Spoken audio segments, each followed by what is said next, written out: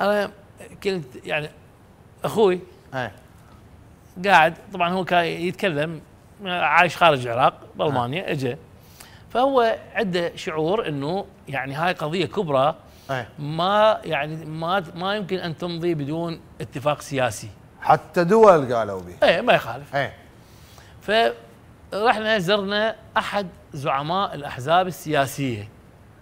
إحنا قاعدين أنا أخوي موجود وزعيم السياسي موجود قلت له يا فلان إيه. المشكلة إذا نحط الألقاب تبين فأقول يا فلان إيه يا فلان آه أنت كان عندك علم إنه آه الحلبوسي تنتهي عضويته؟ قال لا والله قال أنا اتصلت بالحلبوسي آه. قلت له ها ابو ريكان شنو الخبر؟ قريته بالعواجل زين شنو الخبر؟ قال والله أنا مثلك قريته هسه بالعواجل خلينا نشوف شنو السالفة. إيه هذا زعيم مهم. وأيضا تمام آه انت أنت باسم خشان. دوري. لا لا أنت باسم خشان. ما كنت تدري بالموضوع؟ والله شوف خلي أقول لك شغلة.